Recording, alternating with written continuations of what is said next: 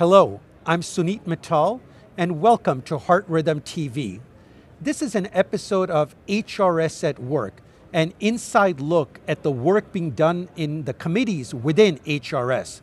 Today, I'm privileged to be joined by Luigi Di Biase, the chair of the Global Relations Committee. Welcome, Luigi. Thank you, Suneet, and thank you to Heart Rhythm TV for having me. Welcome. So I think a lot of our members, Luigi, want to know what is the Global Relations Committee? Yes, I think, uh, uh, you know, it's important, you know, to, to describe that. I'm the chair of the Global Relation Committee and my co-chair is Dr. Eduardo Saad from Brazil.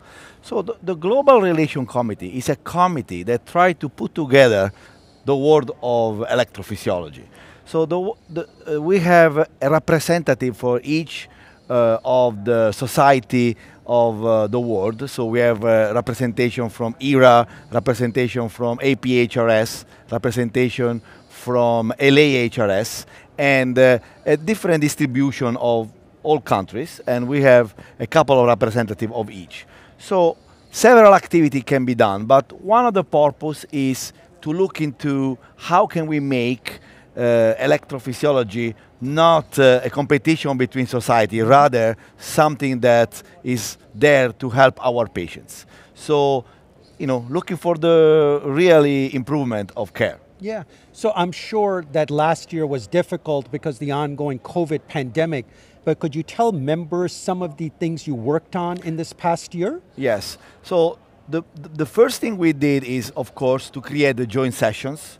Uh, as you can see in the program, there are a lot of joint sessions that we try to contact uh, all the society. We try to put together the joint session between uh, EHRA and LAHRS, SOBRAC, LAHRS, Argentina, Brazil, Japan, and there are many of these sessions you will find out where we try to, you know, uh, put together a nice session. Second, we are looking into finding a document where we were looking at what are the barriers for female to go into electrophysiology. Mm.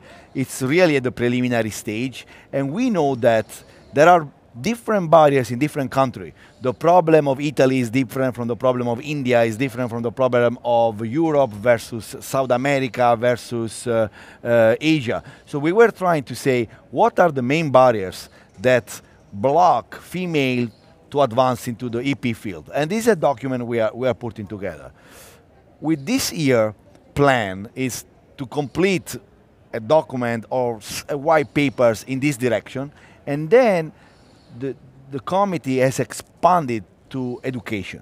So we want education to be global. And I think uh, uh, a global relation committee is uh, a perfect uh, uh, endpoint to do that. So we want uh, a fellow from uh, you know Japan and a fellow from US and a fellow from East Coast versus West Coast and a fellow from South America to kind of have the chance to receive a global education. Mm -hmm. It's a very difficult task, but I think uh, uh, organization of uh, uh you know combined uh, events within the society will achieve the endpoint of we all know and we all do the same thing in the education. So I think education and representation of the education in our committee will be very important. Terrific. Well, I thank you for all of that great work you're doing. It looks like your upcoming year will be a challenging one with a lot of things on your plate. For those who are interested in learning more about the Global Relations Committee, I'm sure uh, please reach out to Dr. Di Biase for more information uh, and stay tuned to these segments uh, for further information about other committees at work within HRS.